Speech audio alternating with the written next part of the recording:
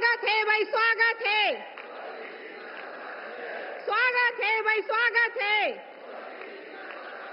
स्वागत है भाई, स्वागत है। मोदी जी को जय श्री राम। मोदी जी को जय श्री राम। मोदी जी को जय श्री राम। स्वागत है भाई, स्वागत है।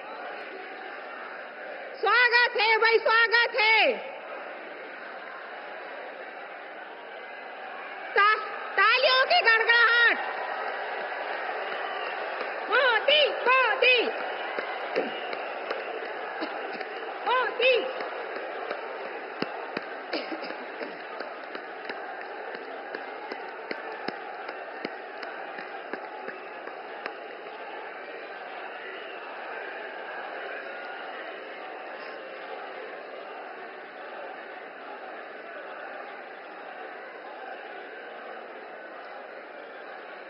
मोदी मोदी मोदी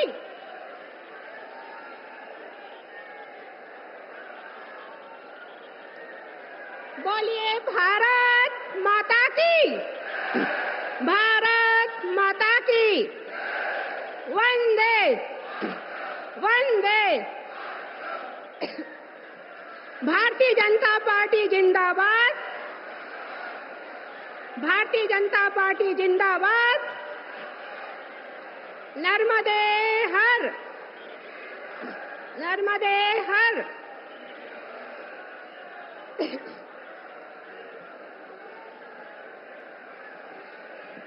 मैं अपनी देवतुल्य जनता जनार्दन से।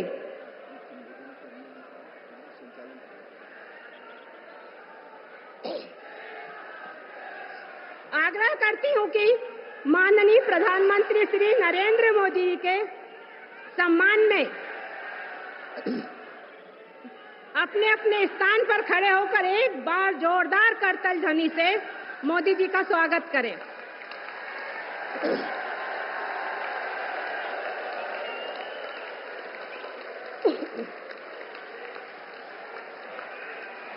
मोदी जी को जय श्री राम मोदी जी को जय श्री राम अब की बार। अब की बार। फिर एक बार। फिर एक बार। माँ नर्मदा के पावन आंचल में बसे भगवान श्री गुप्तेश्वर जी की पावन नगरी एवं शहीद दीप सिंह चौहान शहीद इलाफ सिंह पटेल की पावन धरा और कृषि, साहित्य, सांस्कृतिक के क्षेत्र में सदैव अग्रसर हृदय नगरी हरदा में। भारत माँ के सच्चे सपूत, विश्व के सबसे लोकप्रिय नेता, यशस्वी, तेजस्वी, ओजस्वी प्रधानमंत्री, माननीय श्री नरेंद्र मोदी जी का हरदा नगर में प्रथम आगमन पर आप सभी की ओर से हार्दिक हार्दिक स्वागत करती हूँ, वंदन करती हूँ, अभिनंदन करती हूँ।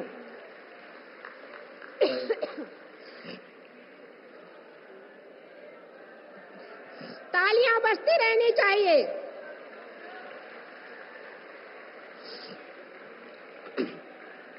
आज के इस ऐतिहासिक आयोजन के साक्षी सभी ज्येष्ठ श्रेष्ठ पदाधिकारियों का, जनप्रतिनिधियों का सम्माननीय नागरिकों का, प्रिंट एवं इलेक्ट्रॉनिक मीडिया का, पत्रकार एवं कार्यकर्ता भाई बहनों का, हार्दिक हार्दिक स्वागत करती हूँ, वंदन करती हूँ, अभिनंदन करती हूँ।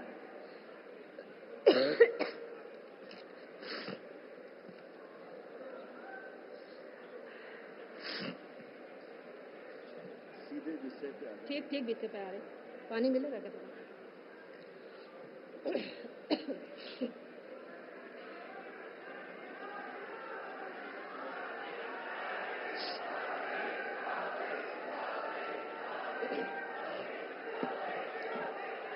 हमारे भुआड़ा अंचल के मारवाड़ी में मातृशक्ति के सम्मान में एक प्रसिद्ध कहावत है, जो मैं माननीय मोदी जी को समर्पित करती हूँ।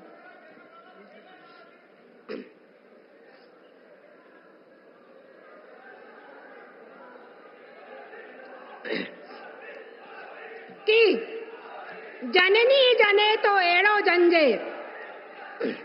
कि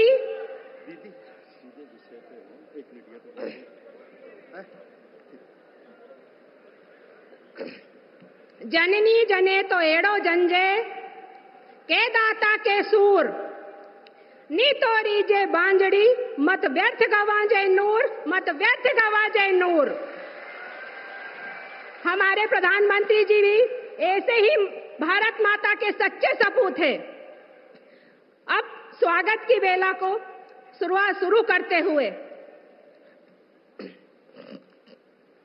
हमारे भारत देश की अतिथि देवों की सर्वश्रेष्ठ परंपरा का निर्वहन करते हुए यशस्वी प्रधानमंत्री माननीय श्री नरेंद्र मोदी जी का अंगवस्त्र द्वारा स्वागत करने हेतु हमारे क्षेत्र की घोड़ा डोंगरी की विधायक श्रीमती गंगा उइके जी को मैं सादर आमंत्रित करती हूँ आप आए और मोदी जी का स्वागत करें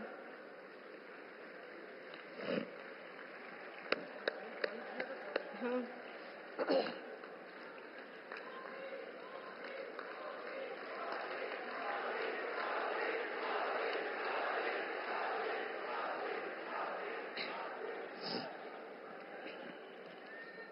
स्वागत की बेला को आगे बढ़ाते हुए इस आयोजन की स्मृतियाँ सदैव विद्यमान रखने हेतु किसानों का कृषि यंत्र हल एवं हरदा जिला शत प्रतिशत सिंचित होने के कारण किसानों का पूर्व मुख्यमंत्री श्री शिवराज सिंह जी चौहान एवं पूर्व कृषि मंत्री कमल जी पटेल के अथक प्रयासों से वरदान स्वरूप मिली। तीसरी फ़सल, मूंग को भेंट करने हेतु श्री हेमंत जी खंडेलवाल, विधायक बैतुल। श्री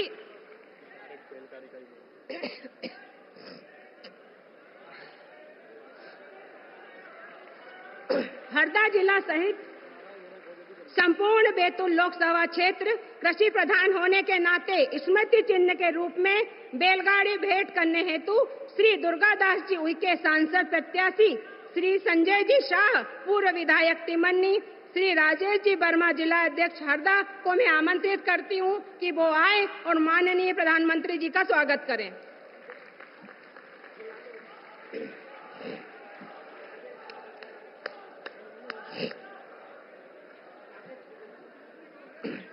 स्वागत की बेला को यहीं विराम देते हुए माननीय प्रधानमंत्री जी, आप सभी की ओर से स्वागत उद्बोधन हेतु मध्य प्रदेश के उप मुख्यमंत्री माननीय श्री राजेंद्र शुक्ल जी को मैं सादर आमंत्रित करती हूँ।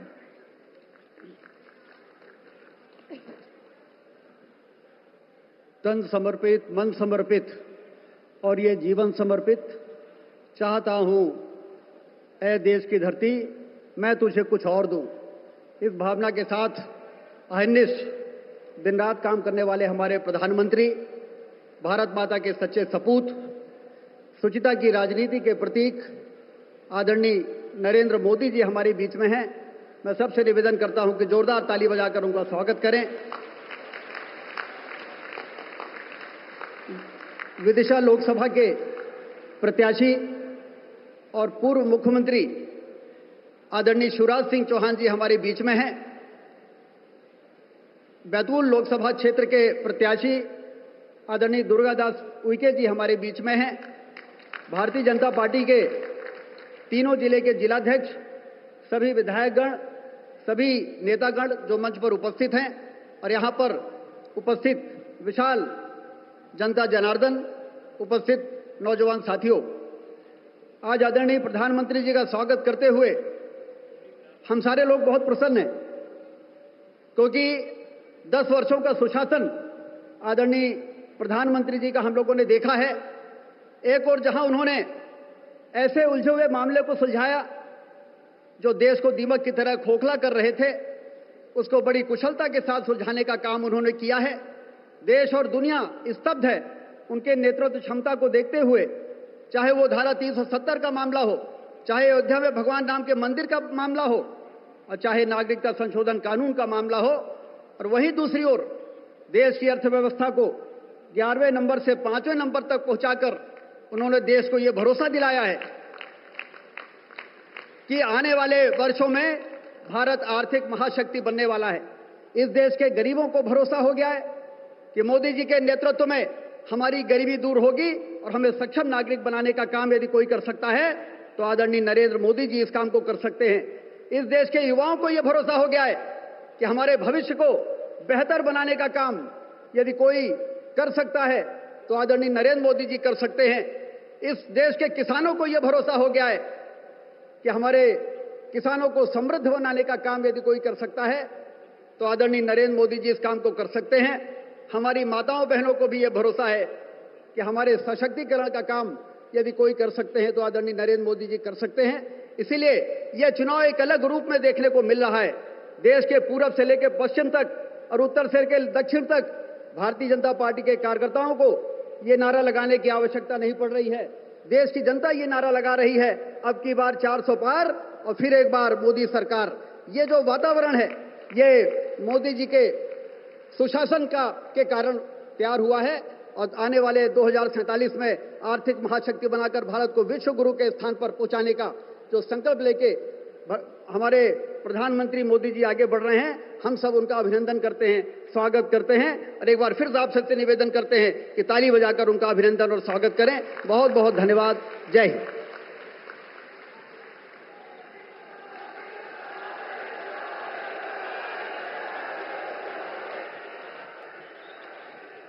भारत माता की, भारत माता की। भारत माता की। जय सेवा, जय जोहार। नर्मदा मैया की, नर्मदा मैया की। मैं बैतूल की पवित्र धरती से माँ नर्मदा और ताप्ती को प्रणाम करता हूँ। देश में इस बार लोकसभा चुनाव को लेकर एक अलग ही उत्साह है। हमारा हरदा तो देश और एमपी की हृदय स्थली है। और हृदय से मिला आशीर्वाद कभी भी खाली नहीं जाता। ये क्षेत्र भी पूरे देश के सुर में सुर मिला रहा है। चाहे तमिलनाडु में जाओ केरल में जाओ, जम्मू जाओ, असम जाओ। देश के हर कोने में एक ही सूर है। और उस सूर में मध्य प्रदेश का भी सूर है। फिर एक बार, फिर एक बार, फिर एक बार। साथियों आज मोदी पहले जब भी आता था तो कुछ न कुछ लेकर के आता था। कुछ न कुछ देने के लिए आता था। कभी ये योजना, कभी वो योजना, कभी ये विकास का काम, कभी वो विकास का काम। आज मैं देने के लिए नहीं आया हूँ। आज मैं आपसे कुछ मांगने के लिए आया हूँ।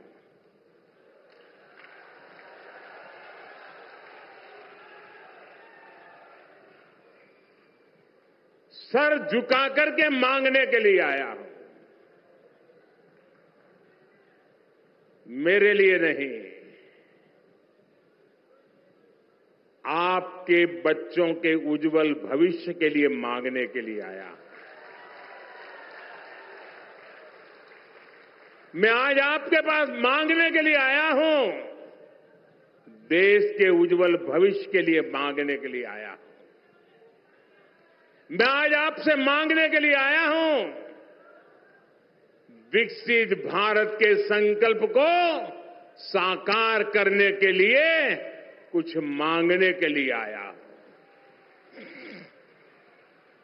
और मैं आपसे माँगता हूँ आपके आशीर्वाद। मुझे आपके आशीर्वाद चाहिए। आपके आशीर्वाद। ये मेरी बहुत बड़ी पूंजी है। जनता जनार्दन ईश्वर का रूप होती है। और जब जनता जनार्दन आशीर्वाद देती है तो आशीर्वाद स्वयं ईश्वर के आशीर्वाद होते हैं।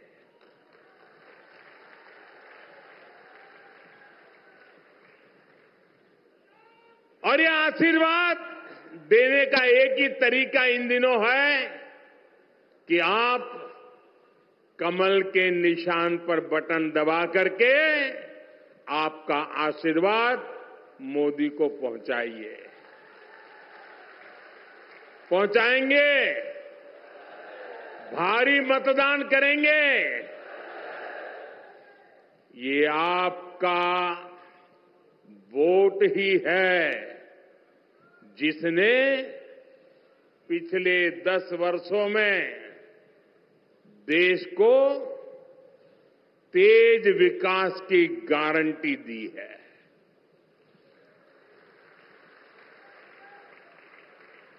आपके एक वोट ने भारत को दुनिया की पांचवी सबसे बड़ी अर्थव्यवस्था बना दिया। आपको पता है ना, दुनिया में, मैं जब आपने मुझे काम दिया, उसके पहले हम 11 नंबर पे थे। और इतने कम समय में हम पाँच नंबर पर पहुँच गए। किसके कारण? किसके कारण? किसके कारण? किसके कारण? किसके कारण? अरे मोदी के कारण नहीं, आपके एक वोट के कारण हो गया ये। ये आपके वोट की ताकत है, और मैं आज आपके वोट की ताकत का आपको साक्षात्कार कराने के लिए आया हूँ। आपके एक वोट ने विदेशों में भारत का डंका बजा दिया। आपके एक वोट ने सीमा पर से हमें आँख दिखाने वाले दुश्मन के होश ठिकाने लगा दिए। और ये आपका ही एक वोट है, जिसने अयोध्या में 500 साल के इंतज़ार के बाद राम लला को भव्य मंदिर में विराजमान कराया।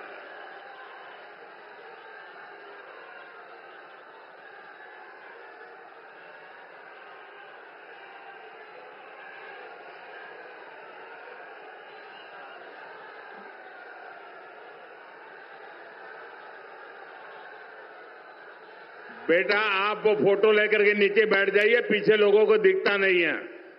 आप बैठ जाइए। जय श्री राम। और इन दस वर्षों में ये जो काम हुआ है, वो तो केवल एक ट्रेलर है, ट्रेलर। अभी तो मुझे देश को, मध्य प्रदेश को बहुत आगे लेकर के जाना है।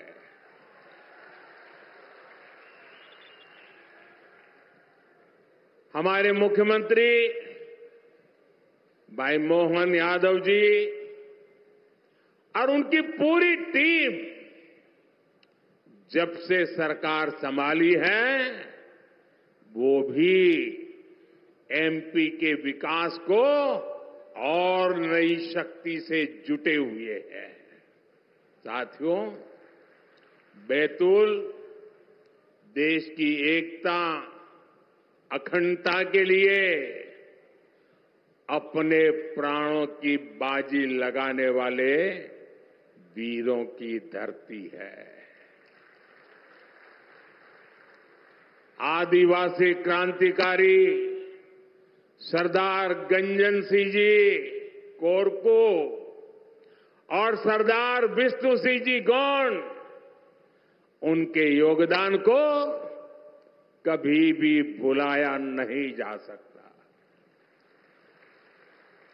लेकिन ये कांग्रेस कांग्रेस ने कभी आदिवासी समाज के इस, योगदान को स्वीकार ही नहीं किया। ये भाजपा है जिसने भगवान बिरसा मुंडा के जन्म दिवस को राष्ट्रीय जनजातीय गौरव दिवस घोषित किया। भाजपा सरकार में ही लाखों आदिवासी भाइयों बहनों को वन अधिकार का पट्टा दिया गया है। इन दस वर्षों में पीएम आवास, उज्ज्वला सिलेंडर, बैंक खाते और मुफ़्त इलाज जैसे अनेक काम हुए हैं। इन कार्यों ने आदिवासी समाज की हमारी माताओं, बहनों, बेटियों के जीवन से बहुत सी मुश्किलें कम कर दी है। साथियों, अगर सरकार की नीतियाँ सही हो तो अन्नदाता क्या कर सकता है? ये बैतूल के किसानों ने करके दिखाया है। इस क्षेत्र में रबी और मूंग की फ़सलों का उत्पादन जिस प्रकार से बढ़ा है, मैं हेलीकॉप्टर से उतर करके यहाँ पहुँचा, चारों तरफ़ मूंग मूंग मूंग की बात हो रही है। और यहाँ भी तोहफा दिया तो मूंग का ही दिया। और इसमें तवा नदी पर बने डैम का बहुत बड़ा योगदान है। हरदा में मोरन गंजाल संयुक्त सिंचाई परियोजना पर भी काम शुरू हो चुका है। आज एमपी के 80 लाख से अधिक किसानों को हमारी सरकार पीएम किसान सम्मान निधि भी दे रही है। Betul Indore four lane highway जैसी सड़कें भी बैतूल के किसानों और लोगों के लिए कई बड़े अवसर खोल देगी। साथियों 24 के इस चुनाव ने कांग्रेस पार्टी की कलई देश के सामने खोल कर रख दी है। कांग्रेस का हिडन एजेंडा, खतरनाक हिडन एजेंडा, अब खुल करके देश के सामने आ चुका है।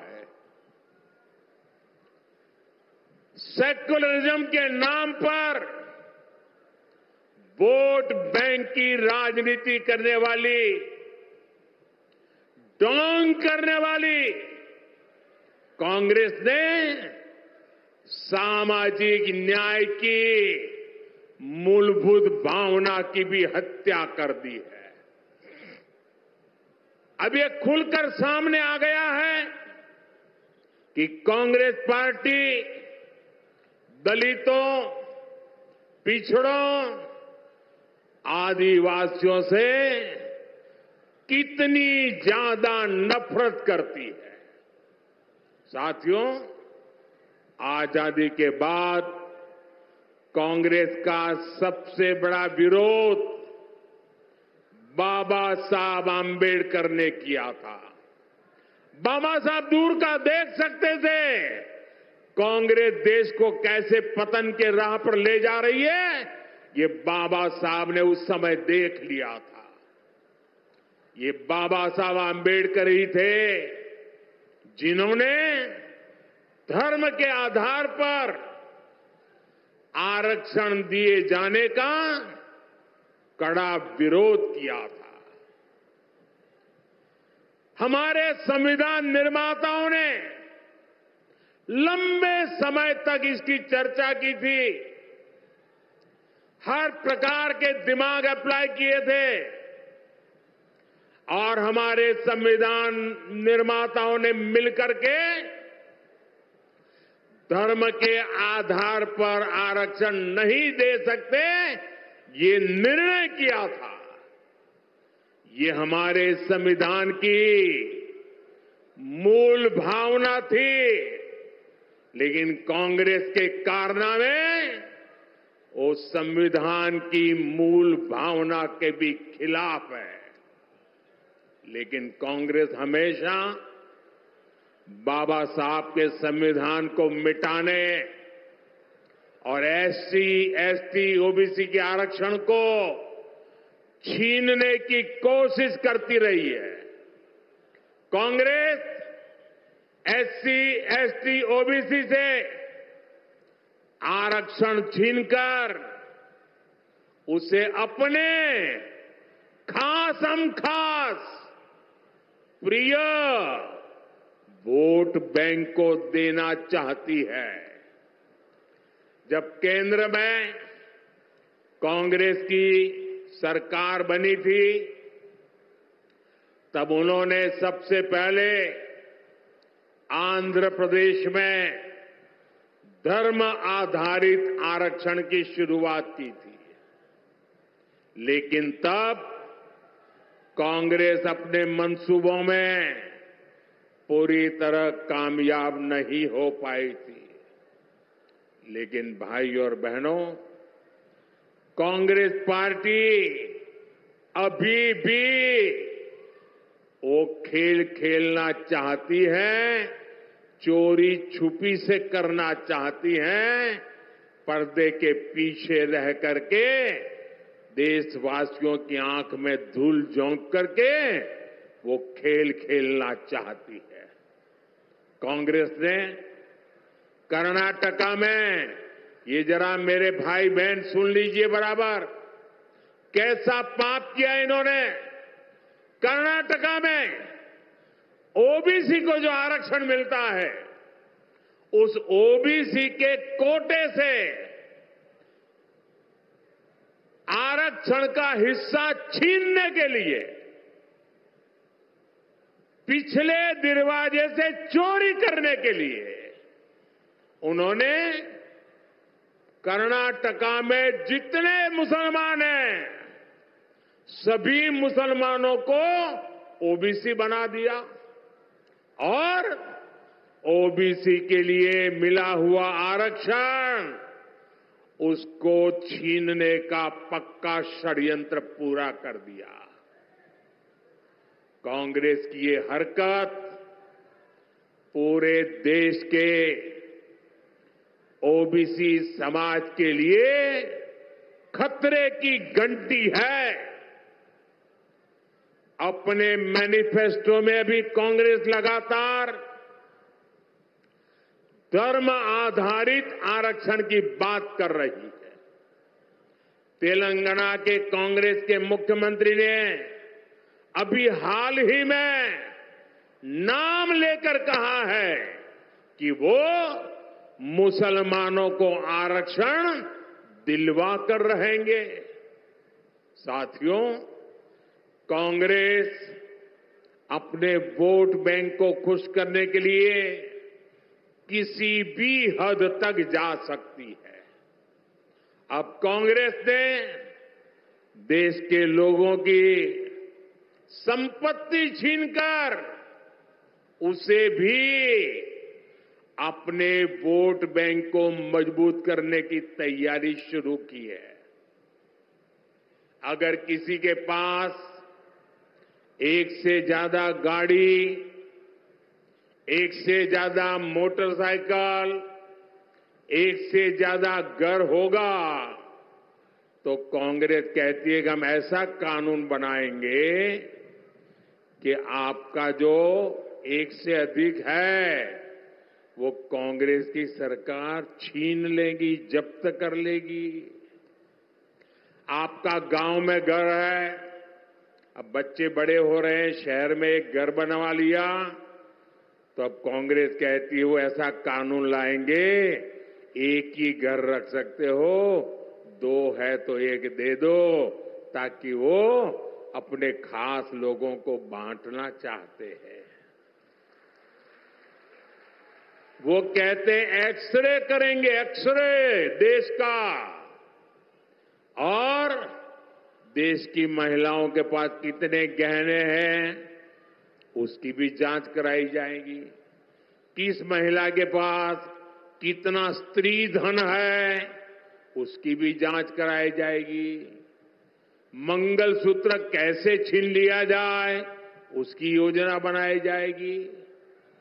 ये सब संपत्ति सोना, चांदी छीनकर कांग्रेस अपनी वोट बैंक मज़बूत करने के खेल खेल रही है। और इस बात का वो कांग्रेस के नेता अपनी रैलियों में खुला ऐलान कर रहे हैं। आप मुझे बताइए, आप अपनी संपत्ति किसी को भी छीनने देंगे क्या? छीनने देंगे क्या? ऐसे छीनने वालों को आप माफ़ करेंगे क्या? साथियों, कांग्रेस कैसे आपकी संपत्ति को लूटना चाहती है? इसका एक और उदाहरण आज देश के सामने आया है। कांग्रेस के शाहजादे के सलाहकार कांग्रेस के बड़े नेता ने कहा है कि भारत में इनहेरिटेंस टैक्स लगना चाहिए। यानी आपके दादा, दादी माता पिता ने जो कुछ भी बचाया है और उनके स्वर्गवास के बाद जो आपको मिलेगा, उसमें से आधा कांग्रेस सरकार हड़प करना चाहती है। बताइए, आपके माता पिता ने जो मेहनत करके, कमाई करके आपके लिए छोड़ा है, वो उस पर आपका अधिकार है कि नहीं है? आपका अधिकार है कि नहीं है? ये आपके परिवार की मेहनत की कमाई है कि नहीं है? क्या आपको, को छीनना चाहे तो छीनने देंगे क्या? लेने देंगे क्या? क्या ऐसा सोचने वाली कांग्रेस को सत्ता में आने देंगे क्या? क्या उनके लिए लूट चलाने का रास्ता खोल देंगे क्या? भाइयों, बहनों, ये सोच कैसी है? अरे, हमारे देश में तो अलग संस्कार है, अलग संस्कृति है। और कांग्रेस के नेता इस बयान पर बवाल के बाद अब कांग्रेस झूठ बोल रही है। ये तो शाहजादे के सलाहकार की व्यक्तिगत राय है। लेकिन सच्चाई ये है कि साल 2011 में भी कांग्रेस ने इनहेरिटेंसी टैक्स की वकालत की थी। कांग्रेस के तब के एक बड़े मंत्री ने प्लानिंग कमीशन में कहा था कि इनहेरिटेंस टैक्स का विचार किया जाए। विरासत पर टैक्स लगाने की। कांग्रेस की पुरानी इच्छा से कांग्रेस इनकार नहीं कर सकती। साथियों, हमारे देश में मेहनत करके थोड़ा थोड़ा बचाकर आने वाली पीढ़ियों के लिए कुछ न कुछ संपत्ति छोड़कर जाने की परंपरा है। कितना ही गरीब क्यों ना हो? लेकिन दादा सोचेगा, दादी सोचेगी, नाना सोचेगा, नानी सोचेगी एकाध अगर चीज़ है तो संभाल के रखती है कि मेरी पोती बड़ी होगी ना तो उसकी शादी में काम आएगा। मेरा नाती बड़ा हो जाएगा तो उसकी शादी में काम आ जाएगा। बीस बीस तीस तीस साल तक वो संभाल करके रखते हैं। मुसीबत के समय में भी निकाल करके खर्च नहीं करते हैं। क्यों? उनके मन में यही इच्छा रहती है कि जाऊँ तो बच्चों के लिए कुछ छोड़ करके जाऊँ। अब ये लोग कह रहे हैं, अब जो छोड़ोगे ना, उस पर आधा हिस्सा हमारा रहेगा। क्या आप ये मंजूर कर सकते हैं? ऐसी कांग्रेस को मध्य प्रदेश में पैर रखने देंगे क्या? हिंदुस्तान में पैर रखने देंगे क्या?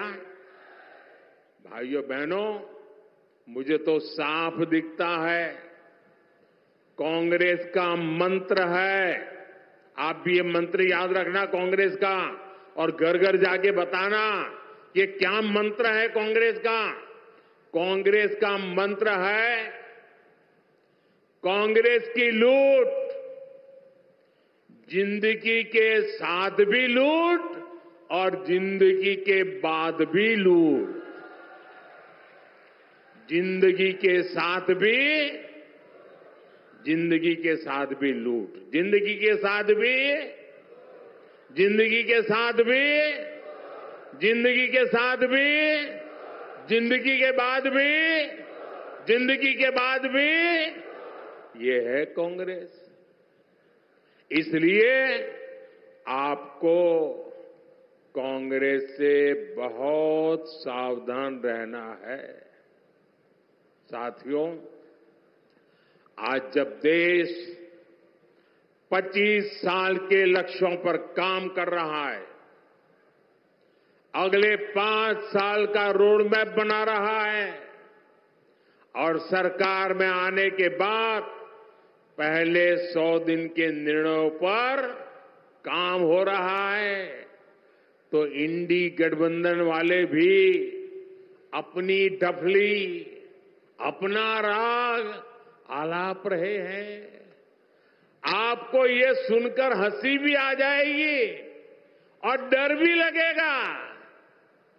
कुछ मीडिया रिपोर्ट्स में आया है कि इंडी गठबंधन वालों में चर्चा चल रही है, क्योंकि मोदी बार बार पूछता है कि बताओ भाई इतना बड़ा देश किसको सुप्रत करें? नाम तो बताना चेंज भाई। आप बिना नाम इतना बड़ा देश किसी को सुप्रत कर सकते हो क्या? ये लोग नाम बताने को तैयार नहीं है। ये लोग तो बता दिए भाई मोदी है, बताओ। आपको देना है तो ये मोदी है, दीजिए। कहा कि नहीं कहा? आपके सामने नाम है ना? दूसरी तरफ़ नाम ही नहीं है। इतना बड़ा देश किसको देना? इसका देश को पता होना चाहिए कि नहीं होना चाहिए? जरा बोलो ना, पता होना चाहिए कि नहीं होना चाहिए? आपको पता है वो किसको देना चाहते हैं?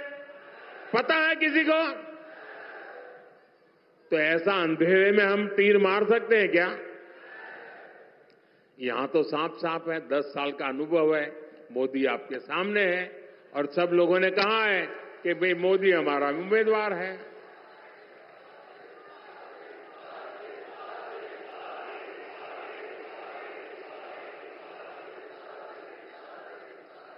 ये लोग इसका जवाब ढूंढ रहे थे।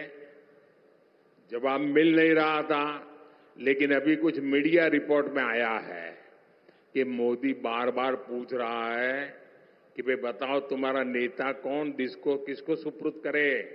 तो बोलते हैं, उन्होंने फॉर्मूला बनाई है। उन्होंने फॉर्मूला बनाई है कि कौन प्रधानमंत्री बनेगा। कहा जा रहा है कि ये लोग one year one PM formula बना रहे हैं।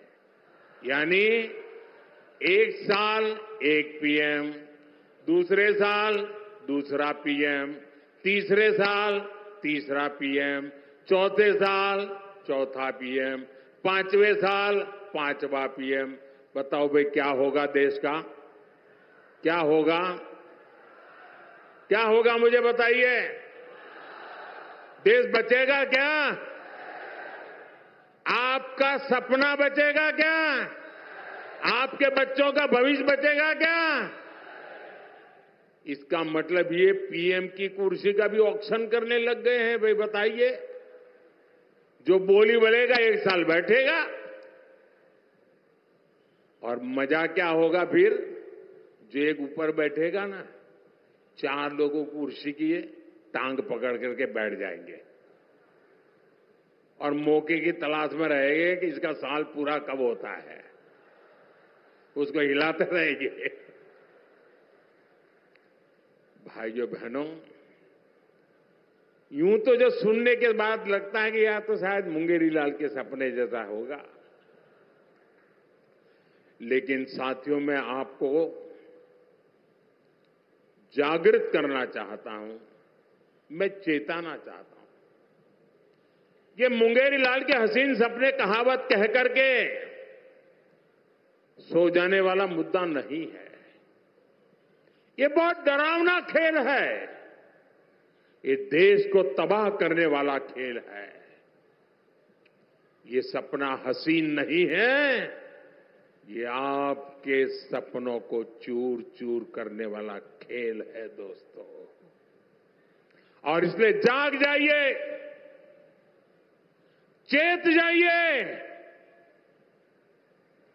आपके वोट की ताकत समझिए। मेरे प्यारे भाइयों, बहनों, देश को बचाने के लिए आप आगे आइए।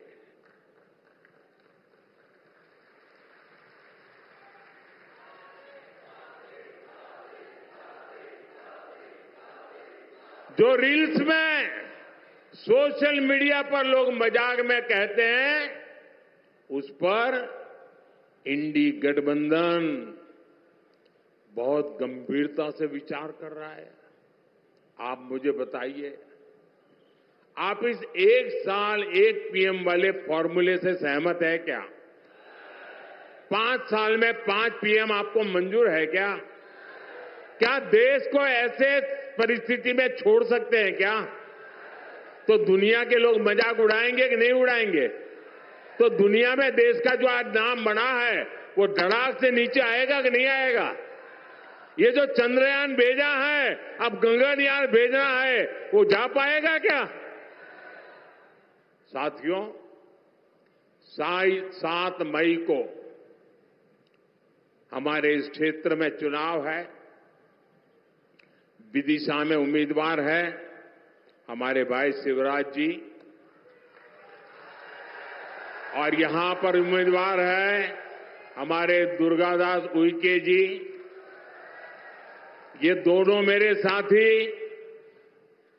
संगठन में मैं शिवराज साहब के काम करते थे। वे मुख्यमंत्री थे, मैं भी मुख्यमंत्री था, हम साथ काम करते थे।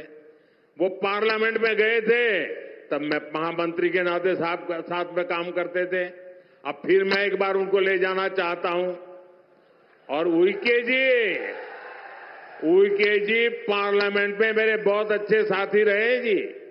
मेरे हर छोटे मोटे कामों की चिंता, ये हमारे दुर्गादास जी करते थे। इन दोनों को भारी मतों से जीताना है। और बड़ी संख्या में आप जिता करके जब उनको वोट देते हैं ना वो मोदी को शक्ति देता है। जब हम उनको वोट देते हैं तो वोट मोदी को पहुँचता है।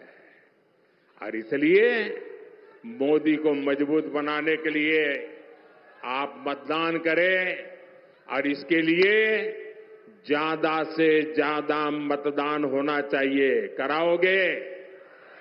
घर घर जाओगे? मतदाताओं को मिलोगे? मतदान कराने के लिए कहोगे, उनको कहना, आपका मतदान मोदी के लिए आशीर्वाद है, कहोगे? आपका मतदान मोदी के लिए आशीर्वाद है, कहोगे? पोलिंग बूथ जीतोगे? मेरा एक और अनुरोध है, करोगे? करोगे? बहुत लोग हैं जो यहाँ नहीं आए। जब मैं संगठन का काम करता था तो और नीचे तक जाता था, लोगों को राम राम करके आता था।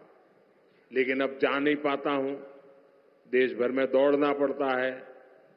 तो बहुत कम लोगों को मिल पाता हूँ। लाखों लोग रह जाते हैं। लेकिन आप मेरे अपने हैं। तो एक काम बताऊँ मैं आपको? आप करोगे? मेरे अपने हैं, वो बता दे, करेंगे। जो मानते हैं कि वो मेरे हैं, वो बता दे, करेंगे। पक्का करेंगे। एक काम करना, जो लोग यहाँ नहीं पहुँचे हैं, उन पर जाना और कहना कि मोदी जी हरदा आए थे।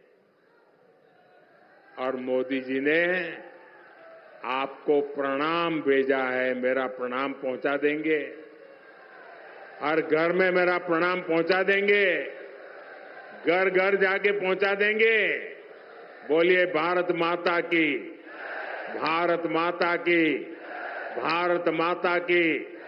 बहुत बहुत धन्यवाद।